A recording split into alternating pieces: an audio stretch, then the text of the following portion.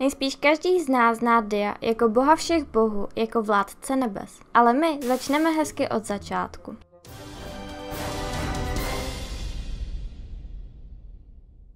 Jestli má někdo nárok na to říkat, že to měl těžké s rodiči, tak je to určitě Zeus. Jeho taťka měl velký apetit. Až tak velký, že snědl své děti. No, vlastně to nebylo úplně kvůli apetitu, ale ze strachu.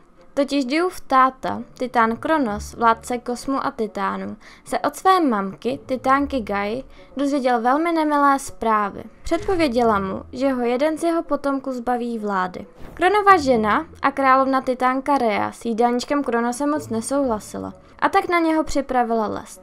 Schovala se na Krétu do jeskyně, kde mimochodem byly nymfy a démoni, kteří ale byli přátelští. Ruku na srdce, kdo by se konec konců chtěl postavit titánce této jeskyni přinesla na svět malého dia a do hadru zabalila kámen, aby to vypadalo, jako kdyby Zeus byl uvnitř.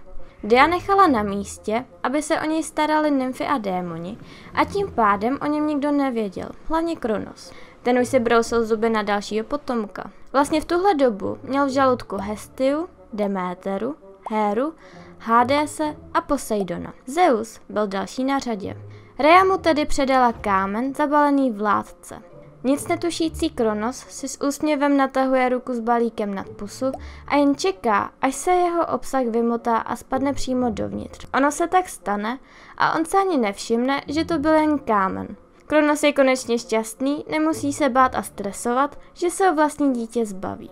Potom, co Zeus dospěl, nastal čas vyřešit rodinné problémy. Dostal se ke Kronovi a donutil ho vyvrhnout kámen a sourozence. Osvobodil Kyklopy a storuké obry Hekatonchery z místa hluboké prázdnoty nazývaného Tartarus, kam je Kronos uvěznil.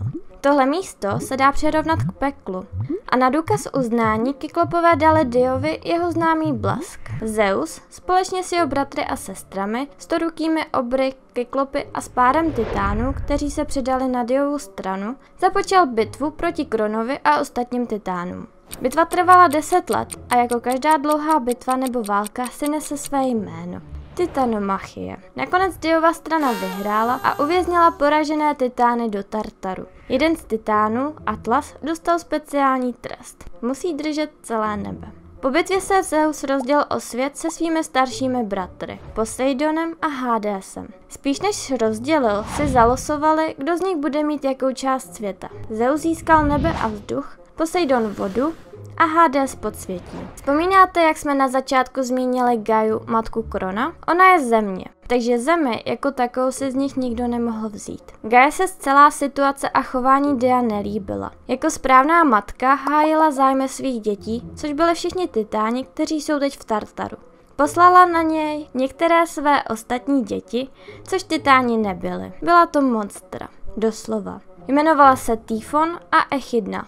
Vzhled nebo nějakou vlastnost měla vždy lidskou, ale zároveň měla dost prvků zvířecích. Zeus Tyfona porazil a uvěznil ho v Tartaru. Echidnu nechal s jejími dětmi naživu. Když už je řeč o dětech, Zeus byl celkem proutník. Měl kupu partnerek a nebo jim aspoň udělal děti. Nejvýznamnější je ale jeho sestra Hera, s kterou splodil mnoho známých bohů, jako je třeba Ares.